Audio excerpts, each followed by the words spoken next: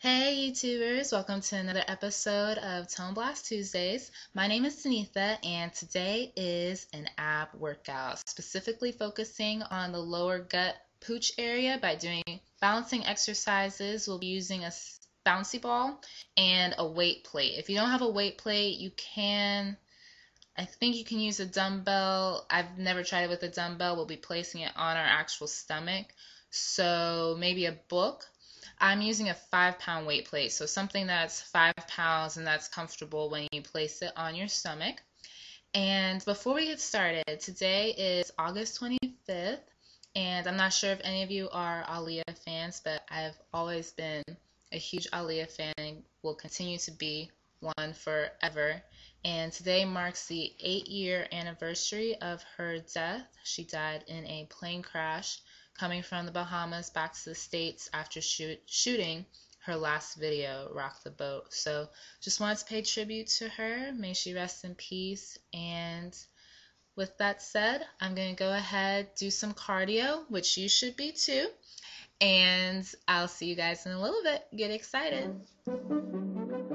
Hey YouTuber, hey YouTuber, hey YouTubers.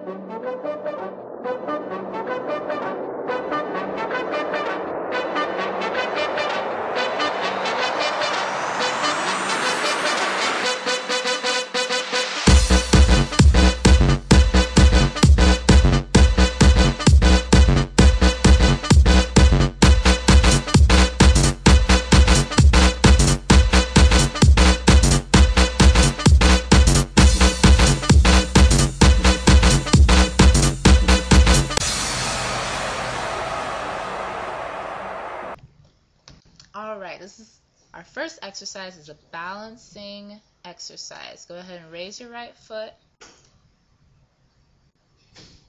Raise the opposite arm. And then raise both arms to an L position. And then raise both arms to the top and hold. Lower back down to an L position. Down to the first position and all the way down. We're going to do this on the left with the left foot raised and then we're going to repeat the whole thing. And this exercise, like any balancing exercise that you do, helps to train your lower abs in. So pulling your belly button into the spine. Once you've gotten really good at doing this exercise, the ball should feel like a chair. It should not move around. It should be completely stable underneath you. So, in order to do that, you need to concentrate on pulling your abs in, specifically the belly button to the spine.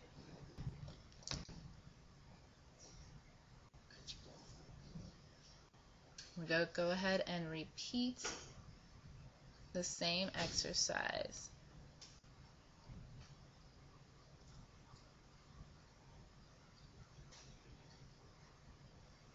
And the next exercise that we do, I apologize, the video got cut, so we're going to do 10 reps. On the right hand side, you will see me doing that, but the left hand side, you'll only see me do 3 reps. But make sure you do 10, and it will be on the bouncy ball.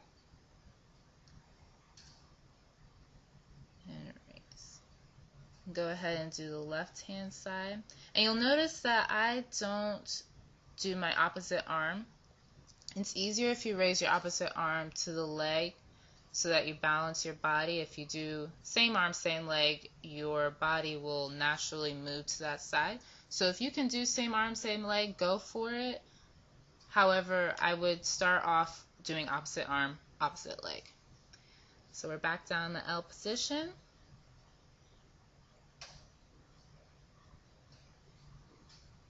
Okay, go ahead and lie on the ball. This is another balancing exercise. You're doing a crunch, but lifting the leg. This time it's my right leg and pulling it in. You want your shoulders to be on the ball as I fall off. and that was 10. We're going to go ahead into the left hand side. And remember to do 10. I only get to three or four in this video. Alright, sorry about that. But go ahead and grab your plate. That's what a plate looks like. And you're going to crunch. So bring your knees in and your hands to your knees. And if you can, bring your feet down to the ground. We're going to do 10 of these. Your lower, your entire lower back should be touching the ground. So if you feel like you're arching off the ground, reduce your amount of rotation. So don't bring your feet all the way to the ground if your lower back begins to arch. And that was 10. Go ahead and place that weight on your stomach. And we're going to do butt raises.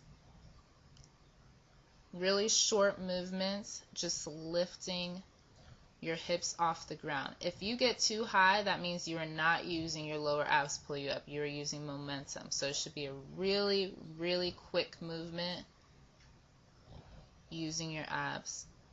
And that is it. Good job.